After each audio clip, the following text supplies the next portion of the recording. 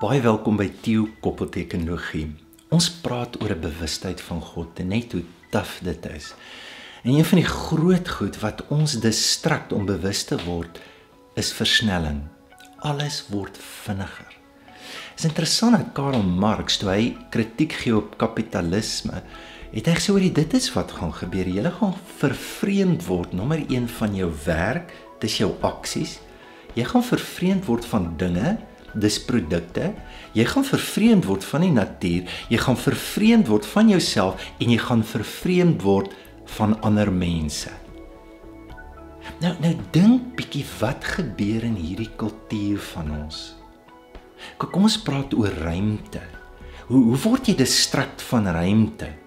Word vandag gesê dat hotel managers die belangrikste vraag wat vir hulle gevra word is: "Hoorie, wat hotel is ek nou?" Of hoor jy in watter land is ek nou?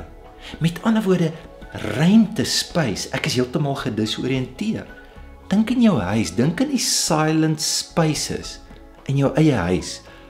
Plekke waar jy nooit kom nie, laaie wat jy nooit oopmaak, produkte wat jy nooit gebruik nie. Ons is vervreem daarvan. Dink bietjie aan tyd.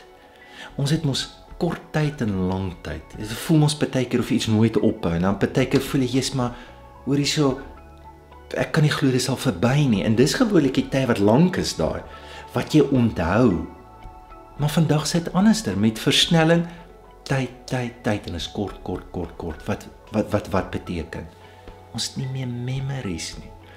Die Duitsers maak 'n onderskeid. Hulle twee woorde. Die een beteken letterlik episodes van tyd, boom, en dan die ander beteken 'n mark of a memory and a transformation moment in time. Dink aan dinge wat um, Habermas het gesê ons het 'n constitutional relationship with things. Wat wat maar beteken dat jy's iets van my is en goed en iets van goed is in my en ons relate daarmee en dit bepaal bietjie selfhoof en goed. Goed is belangrik. Vandag nie meer nie. Ons gooi alles weg. Ek nie meer my oupa se oupa se kassie wat ons oppas en wat belangrik is nie. Dis goedkoper om goed te vervang as om dit reg te maak. So deur goed weg te gooi, gooi ek eintlik iets van myself weg. Dink aan ons aksies. Ons sê mos eers ek voel tuis hier. Ons voel nie meer tuis in dit wat ons doen nie. Hoekom? Jy het nie al die inligting nie. En en kyk kyk net na jou applications, jou foontjie, al jou goed. Hoeveel gebruik jy daarvan? Met altyd 'n behoefte om die nuutste te kry want dit is vinniger en dit het meer wat dit kan doen. Jy weet nie regtig wat dit is nie. Dis hoekom ek bedoel ek gaan eerder vir die dummy version Dostoevsky for idiots of for dummies, Christianity for dumb. Ek soek dit kort, ek soek dit vinnig en ek soek dit nou. Al het dit nie meaning of betekenis want ek is eintlik gedistrakt van my eie aksies in dit wat ek doen. En wat ons eintlik doen hiermee, dan moet ons oorkompenseer. Die dinge wat niks meer beteken nie, moet ek al hoe duurder goedkoop. Die plekke wat niks beteken nie, moet ek net na meer en mooier plekke toe gaan. En op 'n kol kan ek nie connect, kan ek nie relate, het ek nie 'n bewustheid nie. En dan die laaste ding, jy word gestrek van jouself, want hoe maak jy meaning van jouself? Dis uit ruimte, dis uit tyd, dis uit dinge. En nou is dit nie meer daar nie. So ek sukkel om te relate met myself en ek kan ook nie relate met ander nie. Nou ek wonder ek wonder hoe word 'n mens gehelp as jy nie eens bewus is dat dit gebeur nie. Dis presies die kol wat Jesus na ons toe bring. Ontwaak jy wat slaap en staan op uit die dood en Christus sal oor jou skyn. Hy sê dit vir gelowiges.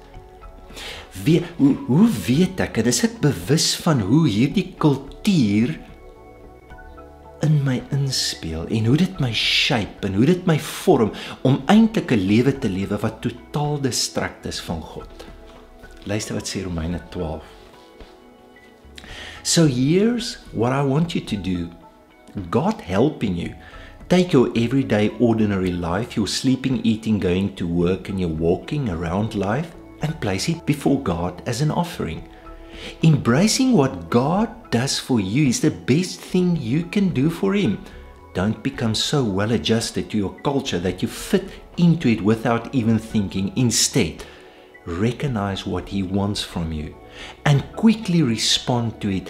Unlike the culture around you, always dragging you down to its level of immaturity, God brings the best out of you, develop full formed maturity in you. Miskien is daar net een pad wat ons kan loop en dis die stadige pad.